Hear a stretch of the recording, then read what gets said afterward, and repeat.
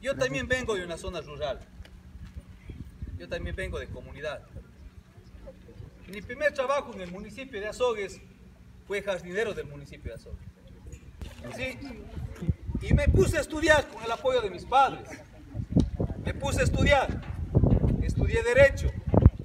Pero también era un guambra, escucharán esto, era un guambra que hacía las cosas para bien.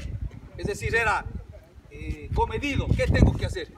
Me sacaron de parques y jardines al año y medio, casi a los dos años, y fue notificador. Entregaba oficios, títulos de crédito. Después comencé a estudiar y me gradué de licenciado.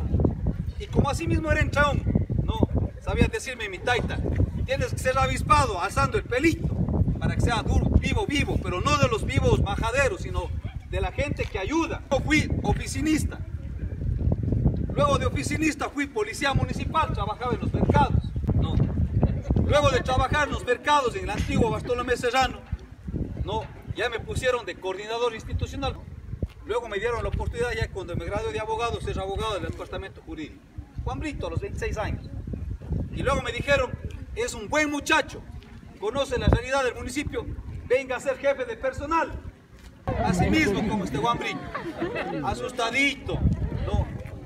Fui jefe de personal de 26 años y habían empleados de 40, 50, 50 años. Y viéndole al Guambra, decían, este es un jefe de personal, no hay que hacerle caso. Pero nunca fui un jefe de personal maltratador, prepotente, no, sino más bien al, al, empleado que era más adulto que uno, ¿no es cierto? Le llamaba y le ganaba con cariño, con respeto, con afecto. Luego me pasaron a ser comisario de los mercados y trasladamos todos los mercados. Luego fui director administrativo.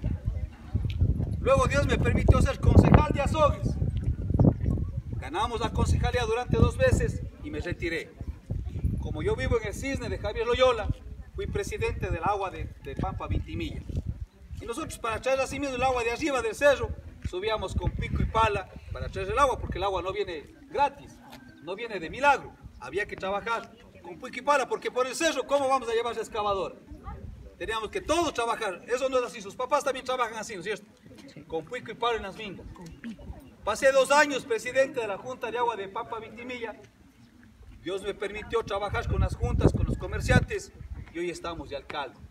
Miren, pero ¿cuándo se logra todo eso? En primer lugar, hay que ser respetuosos con la gente. En segundo lugar, antes de ser respetuosos, nunca se olviden de algo.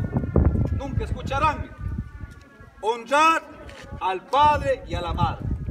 Los papitos o las mamitas a veces podemos cometer grandes errores en la vida, pero nadie tiene derecho a juzgarles, porque ustedes también el día de mañana van a ser papito y mamita.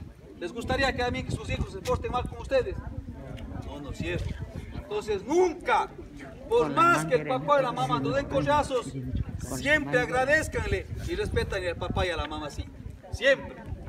Esos hombres se constituyen hombres de bien en la vida. Y miren, Dios abre la oportunidad, las puertas y les abren caminos para que el día de mañana aquí ustedes sean presidentes de las juntas, vocales de la Junta de Rivera, puedan ser tenientes políticos, jefes políticos, o acá podamos tener un alcalde, un asambleísta, un odontólogo, un médico, un mecánico, un buen profesional que trabaje honradamente por la gente. Así es que, si hoy estamos acá, estamos porque primeramente Dios quiso que estemos aquí hoy sirviendo a la gente. ¿Sí? No es imposible. Los sueños no son imposibles.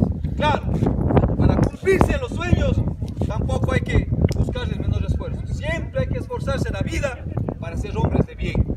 Salúdenles a sus papis y un abrazo de todos. No, muchas gracias.